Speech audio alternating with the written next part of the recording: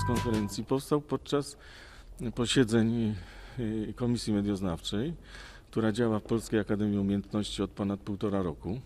Spotykamy się, są wygłaszane referaty naukowe i doszliśmy do wniosku, że w związku z rocznicą, setną rocznicą niepodle- odzyskania niepodległości warto zorganizować konferencję, która będzie podkreślała rolę krakowskiej prasy w y, kształtowaniu, rozwijaniu idei niepodległościowych, które myślę były obecne już od dawna na łamach krakowskiej prasy, nawet tego najbardziej konserwatywnego czasu, nie mówiąc o il- ilustrowanym kurierze codziennym.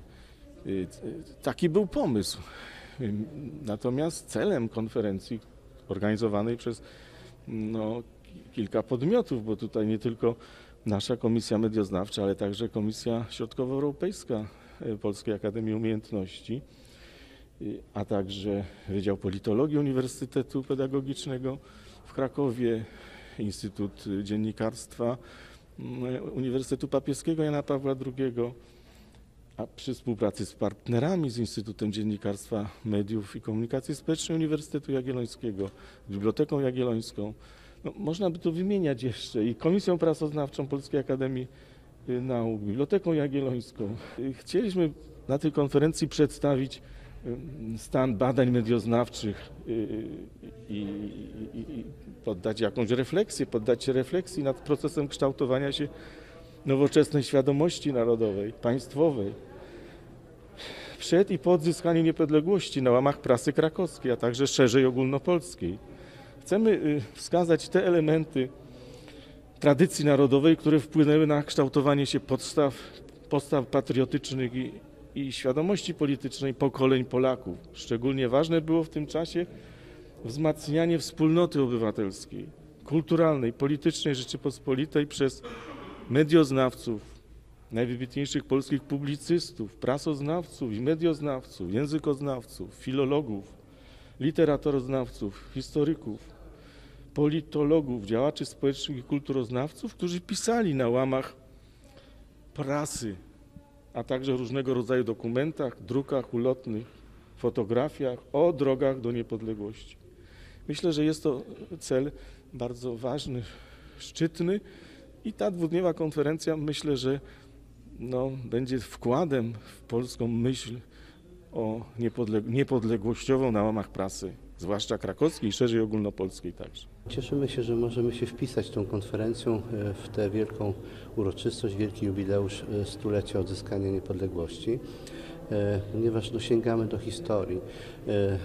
Z punktu widzenia konferencji naukowych jest to sięganie do historii z takich racji badawczych, odkrywczych, ale my chcemy dzisiaj pokazać również, że sięganie do historii to jest sięganie do skarbca, z którego możemy wydobyć rzeczy piękne, wartościowe, które są ważne dla nas również dzisiaj, e, e, z których możemy się również uczyć. Tak jak e, znana jest sentencja, że, że historia jest zawsze jakąś nauczycielką życia również dla pokoleń współczesnych. Ja w czasie konferencji będę nawiązywał także do, bo całość dotyczy mediów, prasy przede wszystkim, bo to Wtedy tylko była prasa. W latach dwudziestych rozwija się radio. Też y, w Polsce y, powstanie radia się wiąże właściwie z, równolegle z powstaniem y, radia w Europie Zachodniej. Y, No bo Polska jakby weszła do rodziny swoją niepodległością, do rodziny kraj, krajów europejskich z peł, pełną swoją niezależną, niezawisłą państwowością.